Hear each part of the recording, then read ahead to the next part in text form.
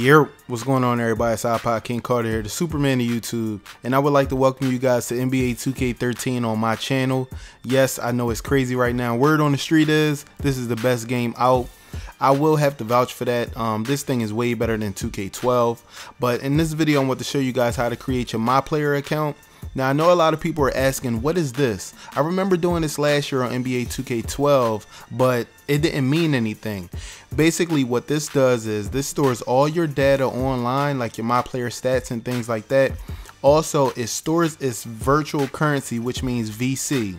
Now on this account name, I already made iPod King Carter for my PS3, which means I had to choose a different name. So I'm going with something a little different, man. I'm going with iPod King Carter HD because I'm bringing it in high definition on NBA 2K13. It's that simple.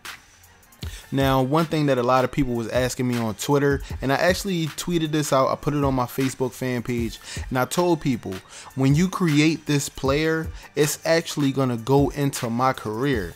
Now, the funny thing is, this is not the creation of my my player, but it's basically selecting the skin tone, selecting the muscle tone, eye color, the hairstyle, the hair color, you know, basically the facial features and the skin tone of the player actually. Now, you guys already know what I'm going with with the hairstyle. It's basically going to look exactly like my my players every year since 2K10, 2K11, and 2K12. I don't change nothing up. I keep everything the same. So, you know, it, it, it kind of looks like me. A couple people says it look exactly like me. Some people say Kanye West.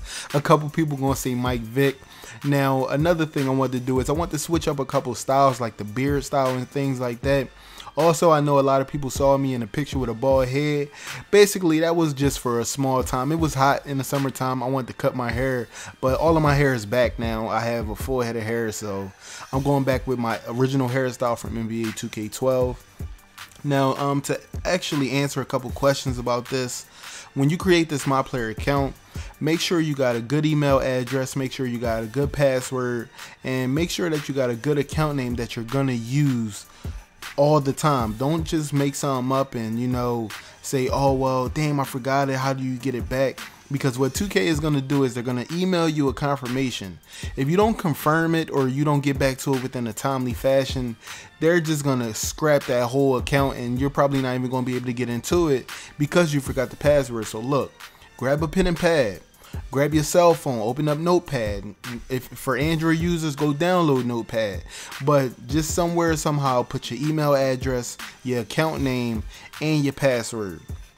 Also, what you want to do is after you do everything like this, you want to connect it to your YouTube, connect it to your Facebook, your Twitter. So when you score like 50 points or you get new achievements, it'll share that on the social media feature of it.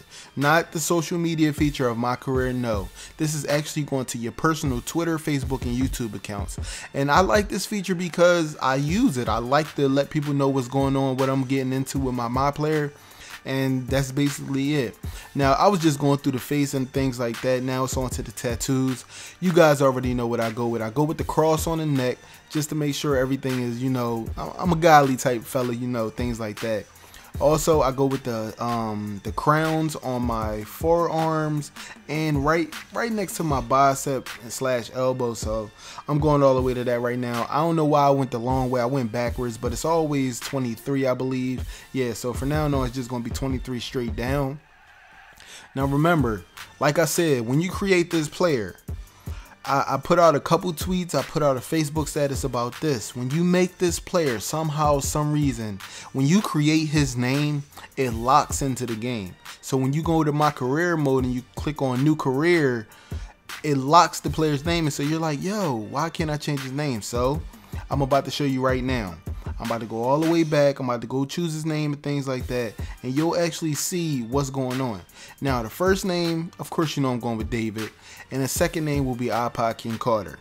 Now, when you choose these names, for whatever reason, this is the player that's going to be uploaded online. You'll be able to play Blacktop 3v3. It'll store your virtual currency, like I said in the beginning, and you'll be able to use and and how should I say edit, buy uh, clothing for, buy different items, buy accessories, get a watch, get some jewels. You'll be able to buy so many things. Also up into my player store i'll bring that once i drop the home menus video. I'm go i'm basically go going to show you guys everything that you need to see about nba 2k13 before i get into my career mode. Now i know a lot of people have seen these videos. Well you haven't seen them in hd you haven't seen them on screen. So i'm bringing you to this full effect and that's how we going to do it.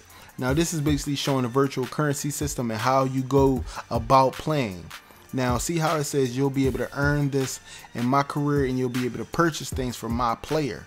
So, and you can also buy things in my team. So virtual currency will be a big thing in NBA 2K13. So buy the skill points, man. I'm sorry.